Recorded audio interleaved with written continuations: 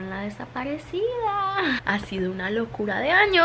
Wow. Ok, bueno, no, primero voy a pedir perdón por la desaparecida tan hijo madre que me pegué Y segundo, no es que quiera justificar, pero voy a explicar un poco por qué la desaparecida La desaparecida nace a raíz de que no puedo compartir con ustedes nada de lo que realmente estoy haciendo Y el contenido se vuelve un reto, ¿no? Pero hemos llegado a diciembre del 2022 y por fin ya puedo empezar a compartir cosas. Entonces por eso estoy volviendo. Hola, me disculpo por mi voz. Estoy saliendo de una gripa en este momento. No es COVID, es gripa. Me parecía hermoso cerrar este año Poder mirar atrás y celebrar lo que ha sido literal uno de los mejores años de mi vida. El 2023 va a ser una locura. Vamos a ver qué trae. Lo único que quiero es que este álbum ya esté en sus manos Y que entre en sus vidas de la forma en que entró a la mía que fue para inspirarme, acompañarme, hacerme sentir que no estoy sola cuando más me sentía sola y desahogarme. Pero bueno, como último video del año, hice una pequeña lista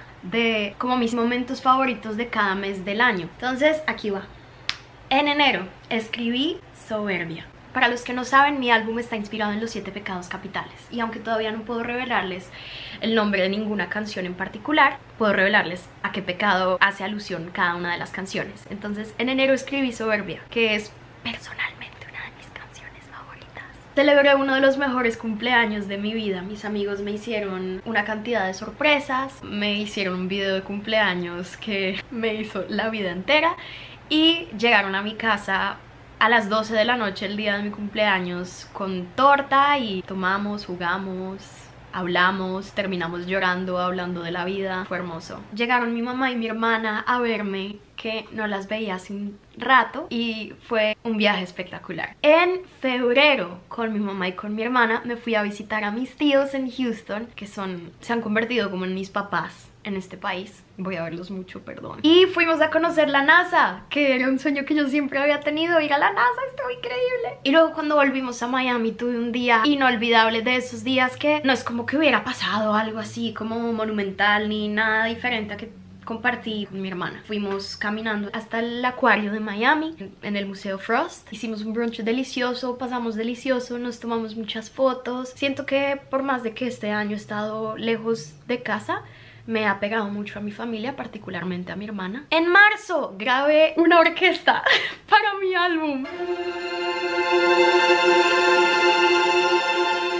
El maestro Julio, que ha sido mi mentor, me concedió el deseo de grabar a una orquesta completa para dos de mis canciones, ahora tres. Materializar ese sueño fue como esos momentos en los que sentí que la vida me estaba quedando un poco grande. Fue una locura. Bueno, en marzo les conté mis planes, saqué mi primer video a YouTube y les conté en qué andaba, lo que venía. Y por último tuve una sesión inolvidable con el maestro Julio y con un compositor con el que nunca me imaginé poder trabajar, eh, Sebastián Cole es uno de los compositores para Alessia Cara, productores también. Ese man tiene una forma de hacer música como mandada del cielo. O sea, es como si alguien le susurrara la canción al oído. Es impresionante. En esa sesión escribí Teresa.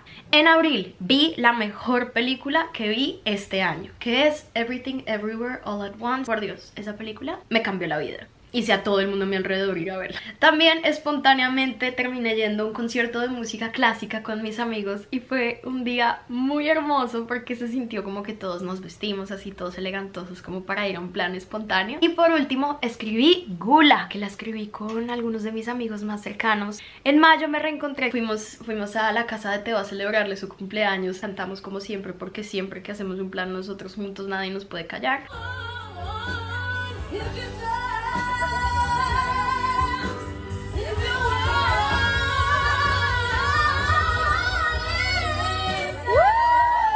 El cumpleaños de Teo, sí, un, día inolvidable de este año. Y grabé las voces oficiales de Encontrarme. Encontrarme es la canción que he estado subiendo a redes sociales con la que siento que algunas personas han resonado mucho y me ha llenado el alma como nada en mi vida una canción tan especial para mí hasta el punto de, de, llevarla en mi piel para siempre. Ah, y para algunas personas que están confundidas, encontrarme no es ningún pecado, encontrarme es la resolución del álbum. En junio hice un showcase de mi álbum. ¿Qué me pasó? ¿Cómo puedo tanto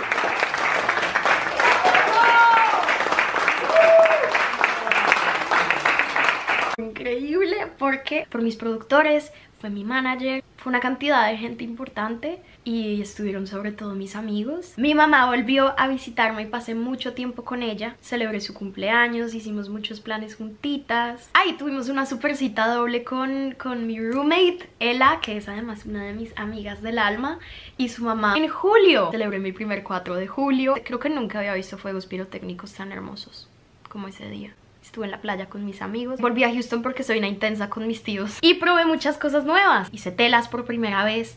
Hice algo que no sé exactamente se llama lira, creo. Es que es como el arito en el que uno se sube. Se ve muy fácil. Es lo más difícil que he hecho en mi vida y no lo vuelvo a hacer nunca.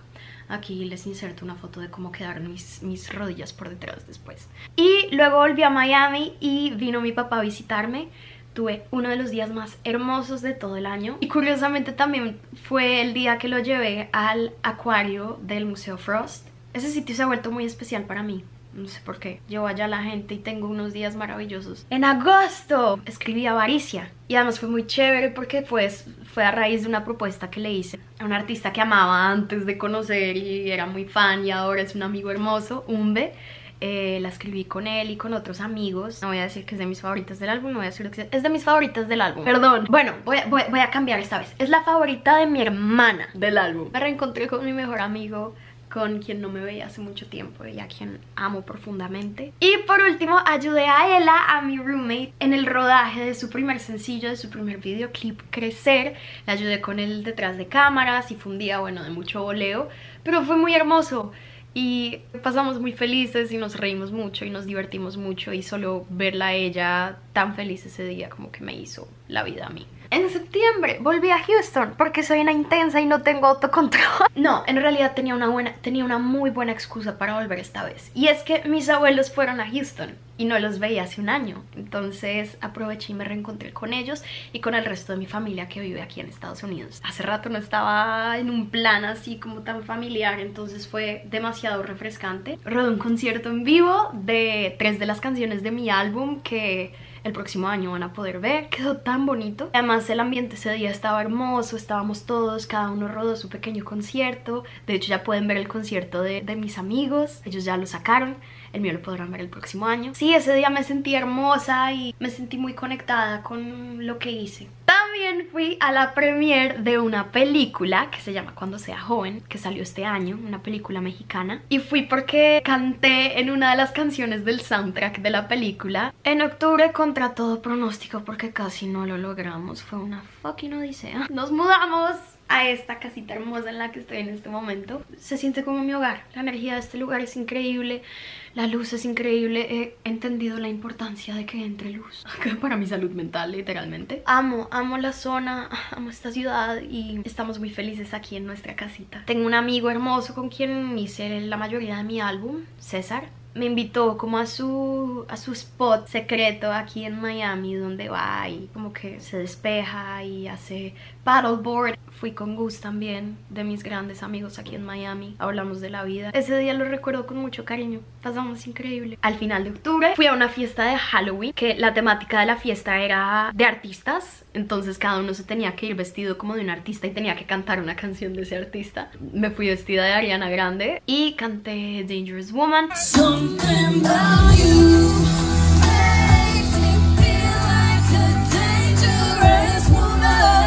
Esa fiesta de Halloween estuvo increíble. En noviembre volví a Colombia, volví a mi casa. No volví hace un año. Uf, fue muy, muy raro. Fue muy loco, me hizo apreciar muchas cosas que aquí no tengo, obviamente Me hizo también agradecer muchas cosas que tengo aquí Fue espectacular volver a ver a mi familia, a ver a mis amigos No me veía con amigos hace años Por ejemplo, hablaba con Makis, que no me veía con ella hace tres años Me reencontré con ellas Pasé de verlas todos los días de mi vida a no verlas. Fue como pandemia. No las veía hace siglos. Y por último, fui al concierto de Harry y también de los mejores días de mi año. Y en diciembre ya cerramos el año con diciembre. Volví a bailar, me hacía mucha falta bailar, no bailaba hace rato. Me abrió las puertas Moon, que es una academia de baile en Colombia con gente que amo. Fue muy refrescante, liberador volver a bailar. Y creo que es algo que, que, que me llevo para el 2023, como no quiero volver a dejar de bailar. También fui al concierto de Camilo y creo que no hay nada más inspirador que ver a otros artistas tan conectados con ellos mismos. Ese concierto de Camilo y lo que es Camilo quedé muy